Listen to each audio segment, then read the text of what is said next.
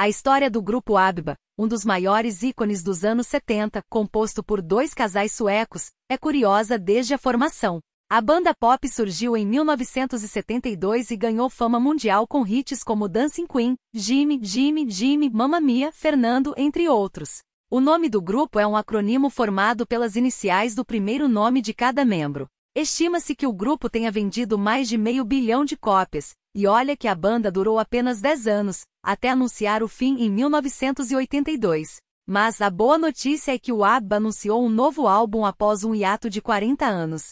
Quer saber mais? Vamos te contar a seguir a história do grupo ABBA. Mulheres Poderosas.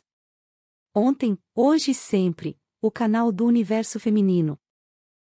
O ABBA é uma banda sueca, formada em Estocolmo em 1972 por Agneta Faltskog, Bjorn Ulvaeus, Ben Andersson e Annie Fried Frida Lindstad. Mais do que integrantes de uma banda de sucesso, eles formaram pares e se casaram. Agneta e Bjorn se uniram em um relacionamento amoroso e se casaram e Frida e Ben fizeram o mesmo e formaram o outro casal da banda. Mas essa história começa um pouco antes, quando Ben Andersson era membro de uma banda de pop rock, a Ep Stars, muito famosa na Suécia durante os anos 60. Foi nessa época que ele conheceu Bjorn Ulvaeus que tocava em outra banda, a Otenani Singers. Ambos foram incentivados pelo empresário Steve Anderson da Otenani Singers a se juntarem para compor e fazer, pois identificou neles um potencial. As meninas integrantes do ABBA também estavam, cada uma, tentando seu espaço na música antes da formação da banda.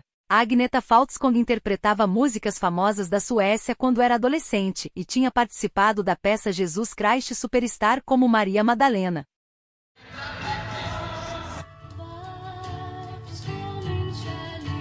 Por conta das viagens que fazia com a peça, encontrou os integrantes do Otenani Singers e foi assim que ela conheceu Bjorn, seu futuro marido e parceiro de banda. Eles se casaram antes da formação da banda, em 1971. Annie Fried Frida Lindstad também cantava e na época estava participando de uma competição de talentos. Foi convidada para se apresentar na televisão e a partir daí a sua carreira deu uma guinada. Tempos depois conheceu Benny Anderson e iniciaram um relacionamento. E foi assim que os integrantes do ABBA se conheceram e a história do grupo começou. Antes de darem o pontapé na banda oficialmente, cada integrante do ABBA levava sua carreira de forma individual e tinha um certo prestígio.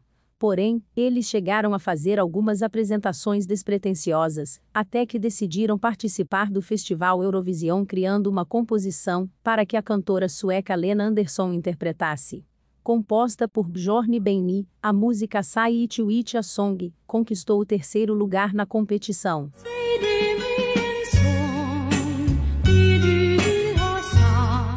Mesmo não levando o primeiro lugar, eles ficaram motivados e decidiram continuar compondo e fazendo experimentações de sons e arranjos vocais. Novamente se inscreveram no Festival Eurovision, em 1973, com a música Ring Ring, que também ficou em terceiro lugar.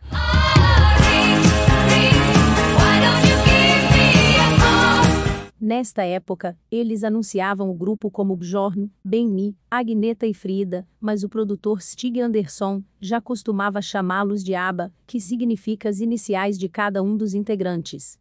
No mesmo ano, lançaram o primeiro disco homônimo, Ring Ring, e, mais experientes e confiantes, participaram do Eurovision no ano seguinte, desta vez inspirados pelo glam rock, que começava a ganhar notoriedade na época venceram com a música Waterloo, que se tornaria o primeiro grande sucesso do ABBA fora da Suécia, conquistando os primeiros fãs na Inglaterra e Estados Unidos.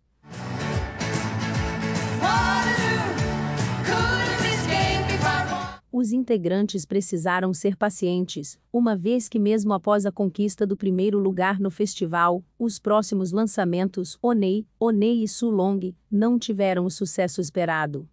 1975, o ano do reconhecimento. As coisas começaram a mudar quando o grupo lançou o disco que leva o nome da banda, em 1975. Nele, um hit levaria o nome do ABBA a chegar ao primeiro lugar nas paradas inglesas, Mamma Mia. A partir daí, se inicia uma nova fase para a banda que chega ao estrelar.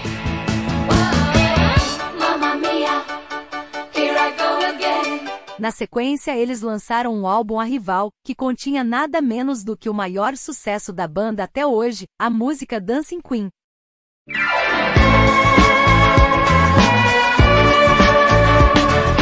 Money, Money, Money, Noah Me, Noah You, My Love, My Life e Dum Dum Didlow são outros destaques do álbum, o quarto lançado pelo ABBA.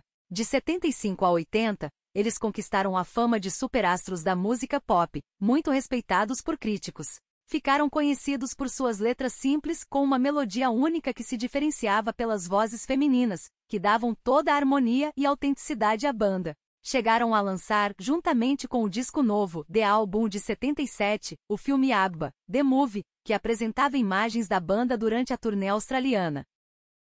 A importância do ABBA para a indústria musical foi enorme, uma vez que eles se tornaram o primeiro grupo de um país de língua não inglesa a conquistar fama mundial. O fim da banda. Enquanto a banda permaneceu na ativa, o relacionamento entre os casais acompanhou os anos de sucesso do ABBA. Como falamos anteriormente, Agneta Faltskog e Bjorn Ulvaeus casaram um ano antes da formação da banda, em 72, e Benny Andersson e Annie Lindstad namoravam desde 1969. A mistura de trabalho e vida pessoal não foi uma combinação positiva para a banda, que anunciou o fim em 1982, mesmo período em que Agneta e Bjorn, que tiveram duas filhas, se divorciaram. O outro casal, Annie Fried e Benny Andersson, também se divorciou e os integrantes não tinham mais aquela mágica que acompanhou a banda ao longo da década de 70. Com os desentendimentos, o processo criativo ficou comprometido e o ABBA, infelizmente, encerrou suas atividades. Sobre a separação conjugal, Bjorn chegou a declarar que a separação era inevitável, pois éramos dois egocêntricos. Durante uma entrevista para o jornal El País, em 2018, Agneta confessou que precisou de terapia para se recuperar do divórcio. Integrantes escreveram músicas sobre o divórcio. O Vaeus e Anderson fizeram a música The Winner Takes It All, que aborda a questão do divórcio, lançada em 1980 no álbum Super Trooper.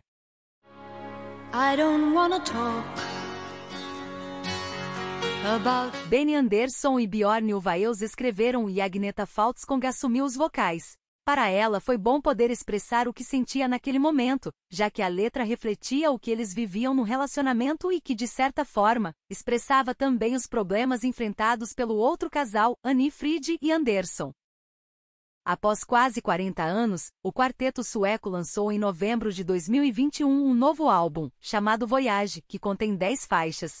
Comprovando que a fama do grupo jamais foi esquecida, o álbum vendeu mais de 80 mil cópias e se tornou a pré-venda mais rápida no Reino Unido. Além do disco novo, Agneta, Benny, Bjorn e Annie Fried anunciaram também uma turnê em comemoração de 50 anos, que usará tecnologia de hologramas com os integrantes aparecendo em versões digitais. O primeiro show está marcado para 27 de maio, em Londres. Em carta aberta divulgada em 2021, os integrantes falaram que a principal inspiração para gravar novamente vem de nosso envolvimento na criação do concerto mais estranho e espetacular que você jamais poderia sonhar. Obrigado por esperarem, é hora de uma nova jornada começar.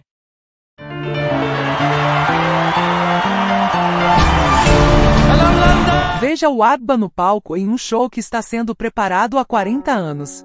ABBA Voyage é o tão esperado show de uma das maiores bandas pop de todos os tempos, apresentando os maiores e mais populares sucessos do ABBA, cada um escolhido a dedo com muito cuidado pela banda. Agneta, Bjorn, Benny e Anifrid criaram o tipo de concerto que sempre quiseram, apresentando-se para os seus fãs no seu melhor, como versões digitais de si próprios, acompanhados pelos melhores músicos da atualidade combinando tecnologia de ponta, iluminação espetacular e algumas das músicas mais adoradas já escritas, o Abba sobe ao palco de uma maneira totalmente nova. Numa impressionante arena especialmente construída, um dos grupos mais populares da história aparece como avatares digitais num concerto inovador, que realmente precisa ser visto para acreditar. Desfocando os limites entre o físico e o digital, veja a magia do ABBA ganhar vida usando a mais recente tecnologia de captura de movimento. É a maior apresentação do ABBA que o mundo nunca viu.